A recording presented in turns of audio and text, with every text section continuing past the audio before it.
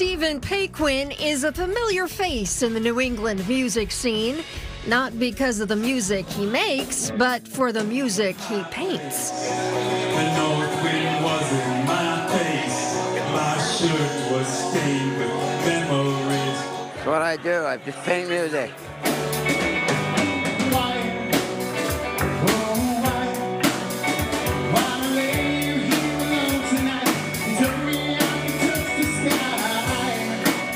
Fun being part of the fabric of an event.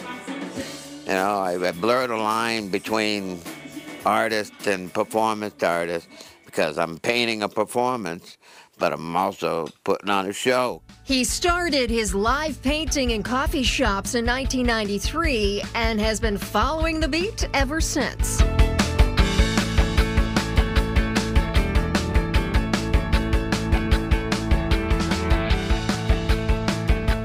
Ever since I was a kid, I've always been drawing. I was either had a book in my hand or a sketchbook. And uh, yeah, it's just have this need to capture the music. I got two girls on the side, and it feels like I'm under attack. The first initial thing is just throw it down, automatic. I just, I just, I don't know. I just go into automatic mode and tunnel vision and just paint the band and then see what happens.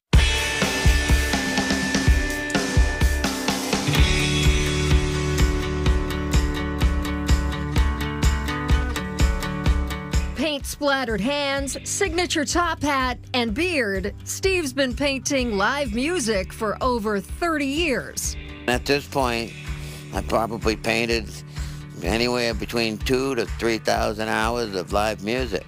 Closing in on 100 festivals. It's too many shows to count. And I only go to places where I can paint. So that rules out going to all these overpriced corporate events anyways. So I just paint the local people, make them feel like rock stars. Layer after layer, Steve's paintings evolve as the set does, the piece often finishing at the same time as the music. And I never know what I'm gonna get. I have no idea before I start. You know, sometimes I don't even know who the band is. Even if I do know who the band is, I never painted them the same way twice. I just wanted to catch the music before it disappears. Concerts are a hard place to sit and chat, so we met up with Steve on a rainy Monday at his friends Trish and Don's Catamount bus stop in Pittsfield. She was the first bus I ever painted back in 2017. And that's where I met, probably met Trish and Don. It would probably be Jerry Jam. They were like legendary. Well, you were always painting down front. And I'm like, why don't you come up and do something different? Sunday morning, come on up. and that's what we did. If it's in front of him, Steve will paint it. I've painted everything. I've done gospel groups and punk bands and a cappella and heavy metal. I even did a a deathcore band. I think that's the term. I'm not sure, but they, they had no idea what I was painting. It was the guy was growling into the microphone, and you know it was like a 20 minute set, and they were all drenched in sweat because they were just.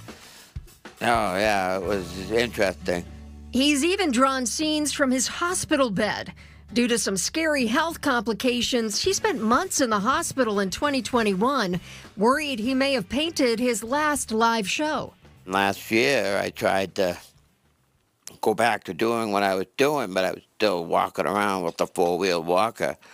And I thought I could go out and do my stuff 'cause just sitting down, but it's a lot more to it than just doing that. 'Cause I couldn't unload, I couldn't set up, I couldn't even open my chair. So I was like, am I done? 25 years of festivals and 30 years of painting, is this it?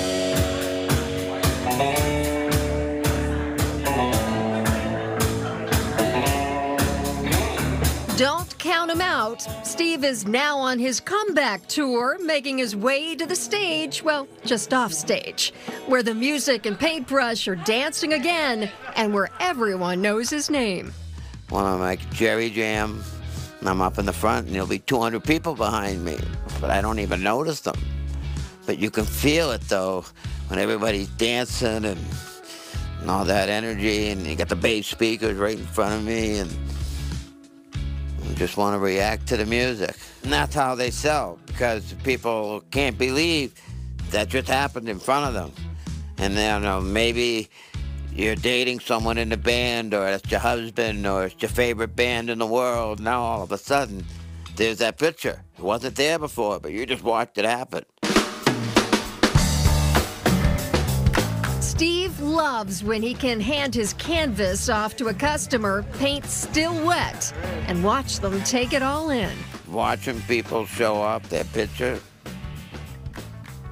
You know, you see them, they're out of earshot, and there's six or seven people around, and everybody's got to play who's who and figure out which person's where because this is not how they look on stage. They got to fit in like a puzzle. And the bands feel like they're rock stars, so that's always cool too when they tell me that. I've, I've been told that so many times, you know, it's almost like a cliche. But it's true though. They, everybody's a rock star, the world just doesn't know it yet.